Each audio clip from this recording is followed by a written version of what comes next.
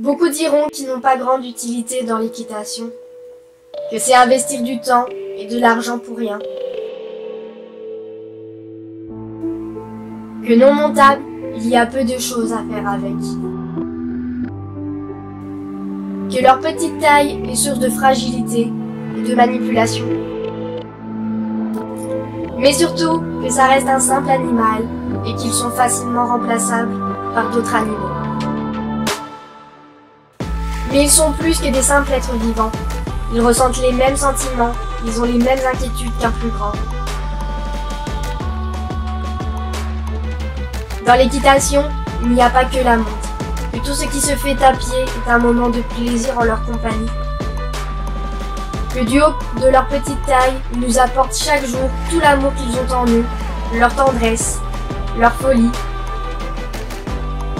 Et par qu'ils seront toujours présents à nos côtés, qui nous réconforteront dans nos moments de faiblesse. Parce qu'être leur propriétaire est quelque chose d'extraordinaire. Laissons-leur une chance.